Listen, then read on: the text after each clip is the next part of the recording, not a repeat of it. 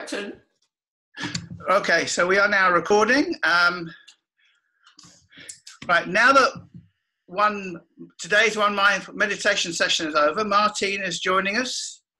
Um, Martine is from her home in France by Zoom to speak about having a regular meditation practice, one which has a focus on creative awareness. So Martine was born in France in 1953 and ordained as a Buddhist nun in Korea in 1975, studying Son Buddhism for nine years at Songgwang Sa Monastery under the guidance of the late, late Master Kusan Sunim. Uh, you speak French, English, and Korean, and you can read Chinese characters. And Martin, you've written many books. The most recent, I believe, is The Spirit of the Buddha. You've also written various articles for magazines on the Korean way of Zen, sorry, the Korean way of tea, Buddhism and women, Buddhism and ecology, and Zen cookery. So Martine is interested in daily life, meditation in daily life, Buddhism and social action, religion and social women's issues, and Zen, its history and mythology. So as well as teaching meditation retreats and workshops on your own, with, with your husband Stephen, you also co-lead retreats worldwide, including here in New Zealand from time to time. That was a while ago. Um, and we're now crossing over to you at your home in France, southwest France. So, Martine, welcome to Wellington, and over to you. Thank you. So, hello everybody. So, uh, you wanted me uh, to talk about um, regular practice and creative awareness. I think what we have to see is that when we talk about practice, can you hear me well? Yes. Yes. Yes. Yeah, thank you. Thank you. Okay. Uh, so when we talk about reg- regular practice, in a way, it's nearly what do we mean? Do we mean that every day we take in meditation and we do a certain exercise? Does it mean that we have the intention to cultivate meditation as we go about our day? And then the question is, what does it mean to cultivate meditation? So, what I'd like to come back to a little bit is looking at first, what do we do when we practice? And what has it got to do with creative awareness? So, when we practice meditation, whatever type of uh, meditation we do, we try to put together anchoring, focusing, concentrating, and looking, questioning, inquiring. And so the first one, the focusing, like focusing on the breath or on the sound or on a question, on a quality, will help us to become more calm and spacious. And then the questioning, the looking deeply will help us to be more clear and open. And so, in a way, I would say that by cultivating, anchoring, and questioning, you develop calmness and clarity, and that become creative awareness. So, in a way, when we sit in meditation, we're not just, in a way, watching the breath, or we're not just body scanning, or we're not just focusing on loving kindness we actually fundamentally developing qualities we already have, but to a higher degree. All of us can concentrate, all of us can question, but we try to in a more specific way so that it develops more. And then these two things together, calmness and clarity, are going to become this creative and then the creative awareness, I would say, has two aspects. One is acceptance. The creative awareness is going to help us see clearly what is going on. What is going on inside, what is going on outside. So at that level, the acceptance is clearly, for example, our good qualities and through seeing that clearly, then we can develop more and we can have more confidence in them. we can also accept and see clearly what is difficult for individuals. We have certain habits who can be harmful to ourselves, to others. But the questioning helps us see that although we have these habits, they are not the same all the time, and we're not always like that. So then, with the harmful habits, we can see certain conditions give rise to them. And then, with awareness, we can create engage with the habits and see what way can I help myself within that? How can I accept that I have certain limits? And at certain times, I will react a certain way. How can I minimize that? And the creative awareness, so you have acceptance, but you also have transformation. And transformation is very much through this creative awareness, again, seeing clearly what's going on. And in we see what is it that can transform and what is it I cannot. And that's why the acceptance and the transformation go together within the creative awareness. And so, in terms of the regular practice, of course, you can practice every day. But then the question would be first, which posture? Do I sit every day? But I can also do walking meditation. I can also do lying down meditation. I can also do standing meditation. So I think in terms of regular practice, one has to be careful of the posture. Then in terms of the time, some people might have a lot of time, some people have little time. And then often people, to me, this if you want to practice regularly, sit or walk or stand or lie down at all, that's wonderful. But that's not just practice. Regular practice would be, in a way, to bring that mindfulness in everyday life. And then you can bring it in a different way. You can bring it as a general awareness, or you can bring it as a specific awareness. This is also something we can play with. Like if we are driving, you can actually practice. That's something I do a lot. When I uh, drive somewhere, I generally try to meditate at the same time. Because what I notice is that as I drive, generally often I think something else, which personally I think is a little dangerous. So it becomes my practice really come back to driving. And then when you're driving, what you want to have is a more generalized awareness of the whole thing. And then at other time, uh, it might be useful just be aware of one thing. Being aware of listening, being aware of speaking. Or for example, if you are in the queue in the supermarket, instead of getting a little frustrated, you can just stand. And then you do standing meditation. And then you might just be aware of your breath, you just might be aware of your body standing there. Or you could bring the creative awareness to listen to somebody. You could bring the creative awareness to working. And then ask the question how do I work? Do I work in such a way that I barely start, but I'm ready to the next task. So while I'm doing the first one, I'm thinking of the second one. When I get to the second one, I think of the third one. And then it can be really interesting to check. When I work, I stay more with what I do right now. And then when the task is finished, can I leave there?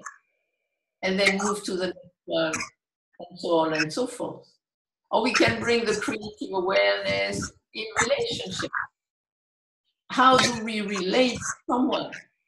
Do I relate to the person as I encounter them now?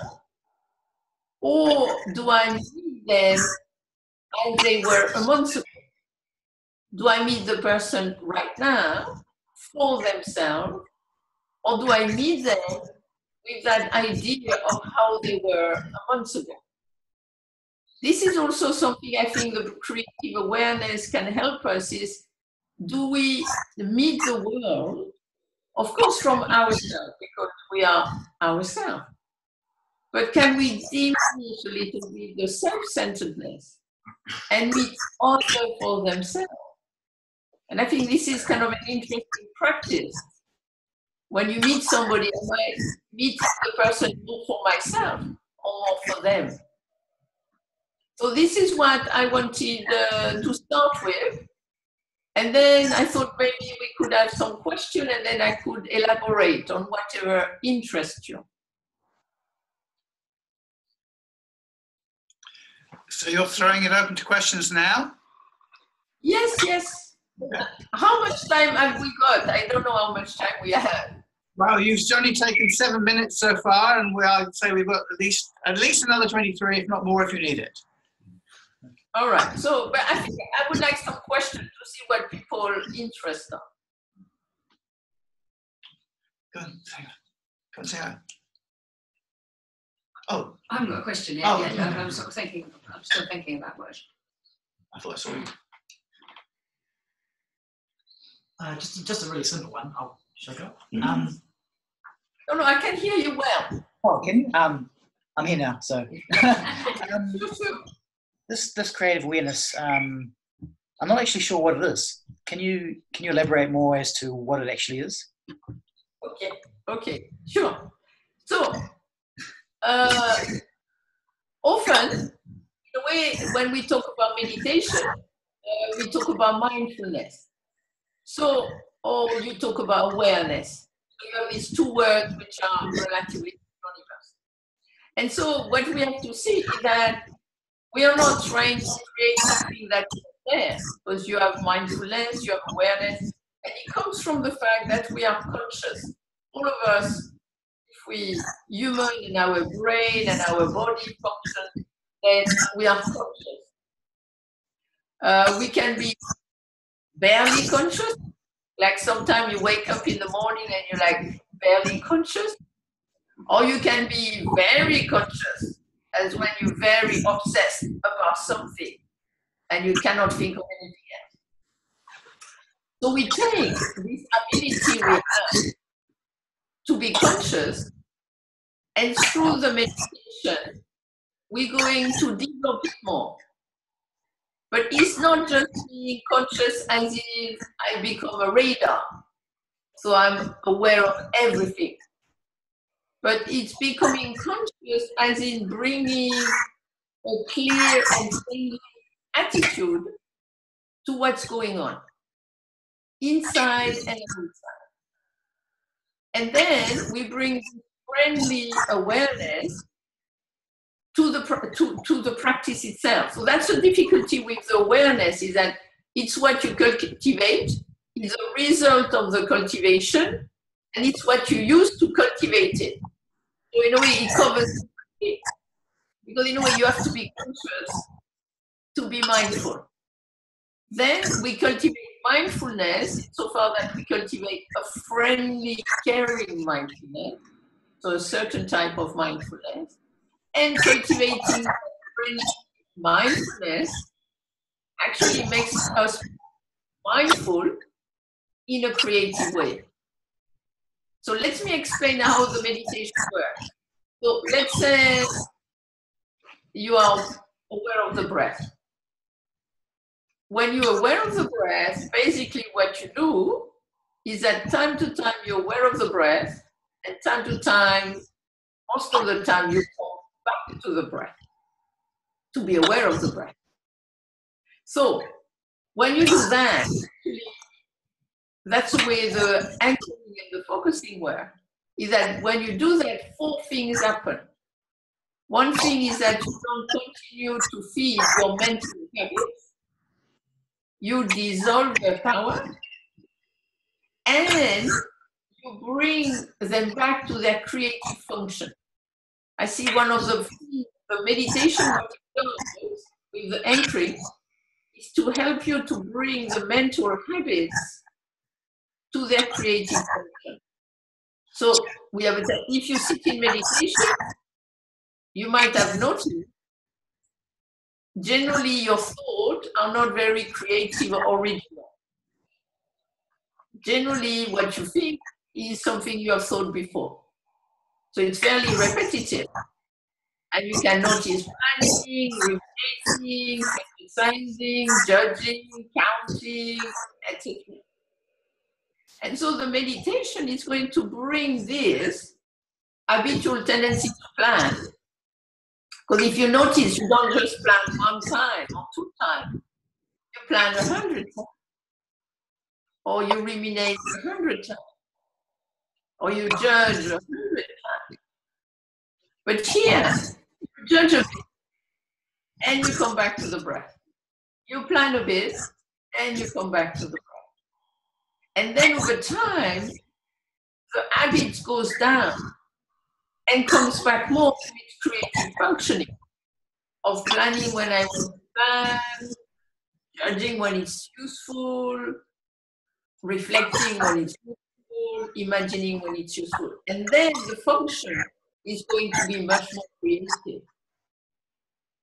Then the other aspect, so that here already you can see the awareness is just the fact that we are aware, but that it had been a lot more.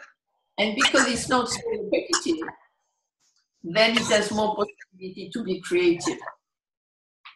Then the second aspect of the meditation is inquiry, is the looking deeply, the questioning. And one of the things you ask to do is to be aware of change. And when you're aware of change, it counteracts the tendency we have to make things permanent. It's always like this. You will never change.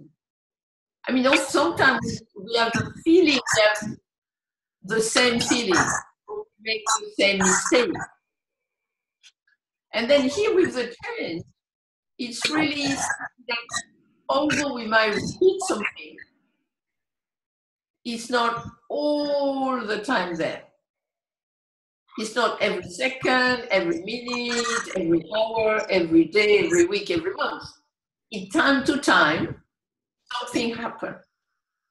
And then you become interested in what are the conditions that makes it happen, inside and outside. And again, because you're not fixing so much, I'm always like this. You're always like that. That's a very little place for creativity. And through that inquiry, that clarity, then the creative potential has more possibility. So the creative awareness is made up of the creative functioning, plus you could say the creative questioning, which then, uh, with the meditation, you build so that it can become activated in daily life. Does that make sense? A lot more, yeah. Thank you.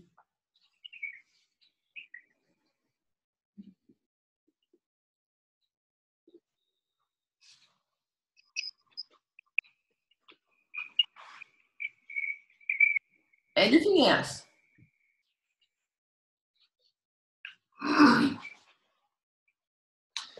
Well, I, I have a question that um, you may or may not be able to answer. But um, talking about uh, creative awareness, as you've explained it, I may not have understood it fully. But what comes to my mind is the the notion of putting things, particularly problems, in the back of my mind and not consciously thinking about them. And uh, over time, a solution arises to this problem. It is not a conscious process. I just wonder how that would fit into any notion that you might have within that framework of creative awareness. Exactly. You see, this is what I mean by acceptance and transformation that in a way you have a difficulty, you have a choice to make, and our tendency is to think a lot about it. But the more we think about it, generally, the more it gets stuck because we're actually repeating the same thing.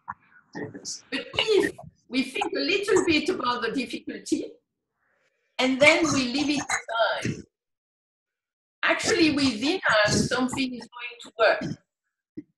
We can think a little again, a little later, just a little bit, and then we leave it. And then, as you said, we find the solution. Sometimes it just pops up. Mm. And personally, that's the way when I used to write books, that's what I used to do. I used to just think a little bit about the theme, the idea, and then I used to leave it. And then I used to think a little about it again and leave. And then when I came down to write, in the process of writing, all these would come together.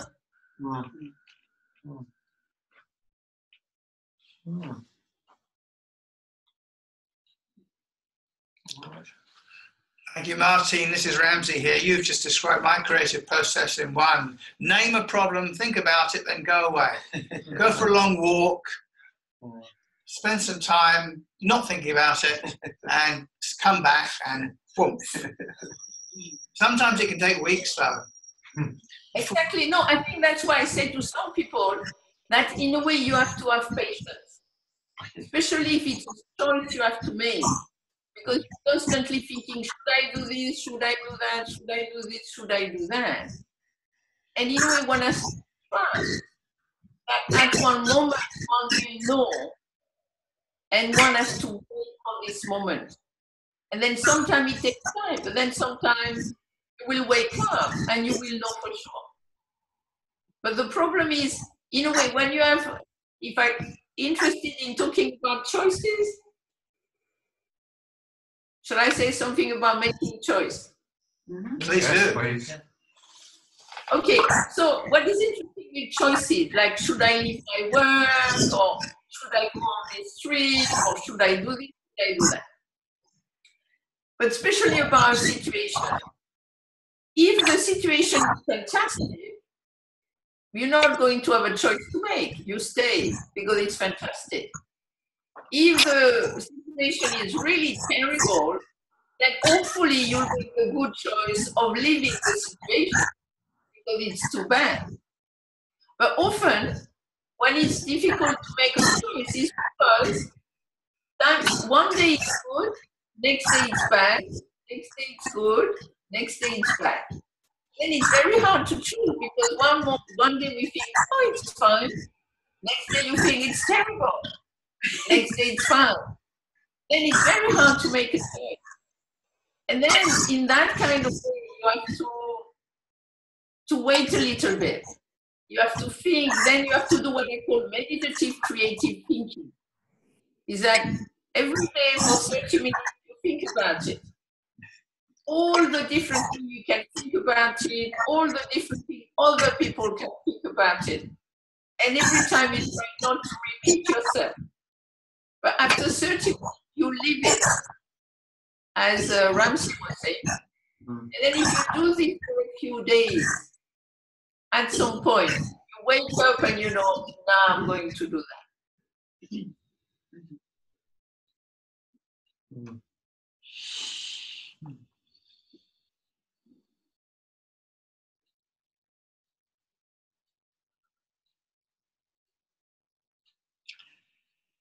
Any other questions? Or are we going to Or comments or observations?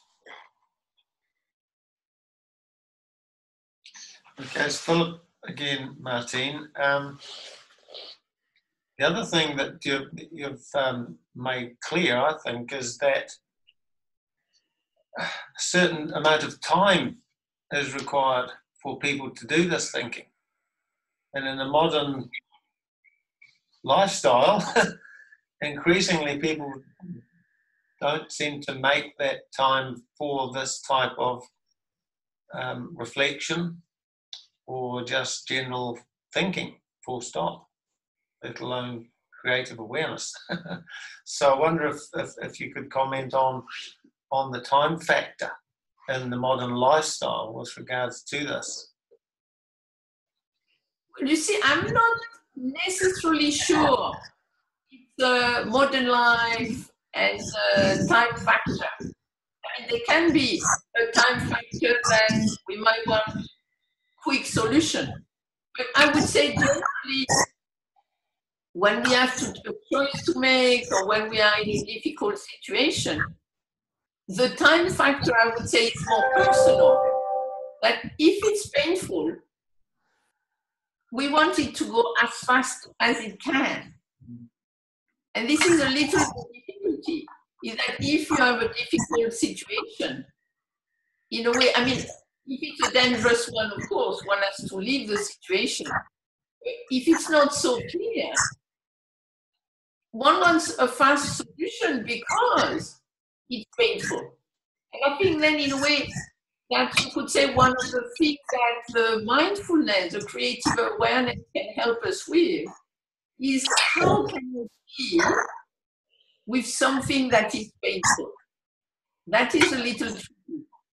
Because you see, the thing is light, then the mindfulness can help us to be with it, asking the question, how long is this going to last? And if we don't grasp it, if we don't identify with it, and we just stay with it, generally it passes fast. If it's like a feeling, a sensation, and we can see, oh, how long is this feeling going to last? How long is this pain going to last? And if it lasts a few minutes, then generally, oh, now it's gone. If it's habitual, then we can do a little bit of reflection to notice when does it happen. It doesn't happen all the time. So then to kind of bring the awareness to the condition. Does it happen when I'm tired? Does it happen when I'm stressed? Does it happen when I'm not slept well? Uh, does it happen because I am afraid of somebody? Uh, does it happen because I am confused in certain situations? And so, in a way, to kind of see I am not like that all the time, but time to time, it happens. And then trying to understand it, trying to creatively engage with it. So that will one, that one will require a little more time. Then the next one, the next level is when you are in a really difficult situation and when it's very intense. And because of the intensity itself, you think it's going to last a long time. And the problem we have is that then we we can't stand it, at the same time we cannot stop obsessing about it. This is very tricky. And so here, in a way, we have to realize that thinking generally won't help us there. With the second one, thinking really can help us. With this one, when something is very intense, then in a way you have to accept it's intense. At some point, it will pass. Thinking about it right now might not help because it will amplify it. And that's why then the coming back actually to the anchor, for example, the breath, or the body, or sounds, or the loving kindness phrases, can help us then more to create space. So I would say reflection is more useful for the second case. The first case, I would say, just being aware in the moment in the experience is more useful. And for the third case, I would say then trying to find an anchor which can release some of the intensity, there would be more helpful. So I think it depends on the situation. Martine, I have a question for you. Uh, it's about obsessive thoughts which probably have no basis in reality. Have you got a, how would you help someone who um, to discern whether an obsessive thought is real, has a basis in reality, or, or not? Well, the problem here is that from your point of view, it might not have basis in reality, but the question is why do they have this obsessive thought? And if if they have OCD, in a way like obsessive compulsive disorder, for example, it has a basis in their brain. So in a way, uh, first you have to say, yes, maybe something happened to them, so it has a basis in reality, or maybe they're oversensitive, they are much more sensitive than you, you would not be obsessed about it, but because they very kind of their system has heightened up that for them there is a basis because they feel something. Even if for other people the reaction might be why they're reacting so much to this.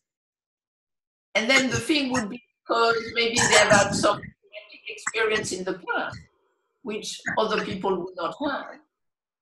Or in a way, it's like a case of OCD, obsessive compulsive disorder, is that in the brain there is activation.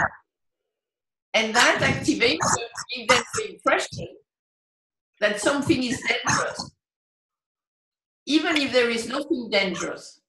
So a way, it has a basis, but not like a basis with evidence.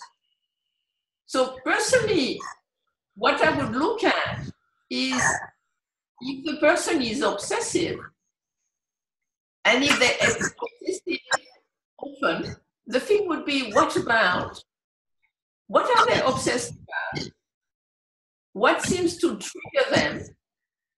And then what I would, personally, I would not question the reality of it, but I would try to help them to find some way to, to, to diminish the intensity. So not necessarily addressing the obsession, because it's not obvious to you, but obvious to them. But could you make them feel less stressed, more calm, in a friendly way, and then the obsession would diminish through the calming. Thank you. Mm. Martine, listening to you talk about OCD, I was wondering um, what you would say uh, or how you would suggest working with somebody with um, suffering from anxiety or from extreme anxiety. Okay, uh, somebody who has extreme anxiety, uh, either they have had traumatic experience in the past, which make their nervous system uh, more easily triggered, or for biological reason, they're much more sensitive. So that's that's certain. So then, when, with people who are very anxious, generally they're very easily triggered. Generally, their nervous system goes up very fast. And so generally I would try again to find some way to, to calm to see if there is activity which brings the thing down. And uh, there is a wonderful book about the OCD uh, by somebody who, who do meditation. And one of the fellows, one way to for him uh, to calm down was to do embroidery. Just doing embroidery, focusing on something else, would help him. Somebody else gardening. You see, the thing you want, somebody who is anxious, you have to see, are they anxious because of their nervous system is up? Or they anxious because they are ruminating? Because one is more physical and one is more mental. So with the physical one, you don't want them to focus on their body. They're already too aware of their body. And so you really want them to focus on nature, on sound, on something outside of themselves. For people who are too much in their thought, then it's kind of like you are basically distract them from their thought. Or you have to reassure them. I mean, you have to see the way they work. Or you have to make them more aware of their body if their body is not painful. Or you have, uh, you have to see basically what helps to calm down. Because in both cases, it's kind of uh, easier intensity in thought. Because, you know, like you have people who say, but what if, what if, what if? And it's kind of, in a way, bringing them to now. What is it that could, with the body, you need to calm it down because otherwise you feel jittery and you have to calm down the body in some way. With the mental, it's more to find ways, a friend, clear way that right now they're safe. So in a way, it's kind of how can they feel safe so that they're not triggered in soul. So then it kind of depends on their tendencies. Hmm. Thank you. Yes, that's very helpful. Yeah, great. Anybody else got a question? Uh, yeah, go. Um, with this with this creative awareness, how do we develop this in meditation? Because I can see I can see there's one way of meditating where it's quite repetitive and there's no um, there's no creative awareness, and I can see other times when I meditate and, and there is. And I'm just curious what your thoughts are on how to develop this quality. So I would say that when you meditate, naturally the quality will be developed. So you don't have to do anything special to develop it. what you need to do is to, to develop the anchoring, develop the question, and doing that will develop the creative awareness. So personally, I see it as a effect of the meditation. So for me, what you're saying, Martine, is that the more you actually meditate on a regular basis, the more you will become creatively aware of what you're doing. Is that right? Yes. Yeah. Yeah. Because I, I think in a way the meditation is to develop the muscles of creative awareness. So at the beginning, we are aware, but we see that we are not very creative because we still very much in the repetition automatism. And then over time, we see more and more the creative awareness. So at the beginning, it's more like just awareness. And then you're more like in the, I would say, the acceptance, seeing the repetition. But then over time, you start to see the transformation. And then you see there can be more creativity because there are less repetition. I think the two go together. Lovely, thank you. Uh, Martine, we, we, this has been 35 wonderful minutes. Thank you very much. And we'll say um, from Wellington in New Zealand, we'll say good night. Thank you. Uh, Thanks very thank you much. Thank you. And And, uh, uh, we hope you have a wonderful day. And Wednesday is an excellent day for you in France. Bon New Year's. yeah. Bonjour, du tu. Merci. Au revoir. Thank you. Bye bye. Bye. Bye bye.